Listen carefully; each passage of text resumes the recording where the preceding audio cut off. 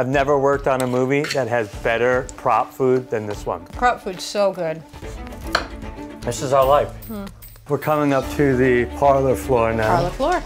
This is where my character builds this model for his daughter to get to know Saint-Malo. Not only is it a tactile map, but I like to think of it as a tactile photo. It does give me an idea of what everything looks like around me that I would be missing. This is home. She knows right where it is. And this is the bakery. And then if you go over here, this is the Oyster Grotto with the staircase leading down. This well is very unique It's the oldest well in uh, Europe. in Europe. That's really cool. This is everyone's favorite chair. The reason they made these chairs like this was to keep you warm when a draft was in a room. This is our kitchen.